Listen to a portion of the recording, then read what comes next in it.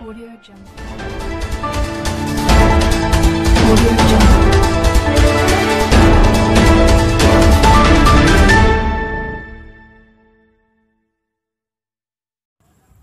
ग्वालियर में तेज रफ्तार से आ रही अनियंत्रित कार पुल के नीचे जा गिरी।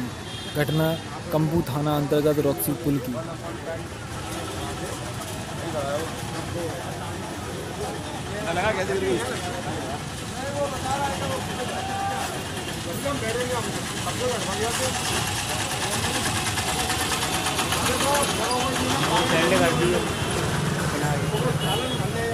कहाँ से आई इधर? से ऊपर से?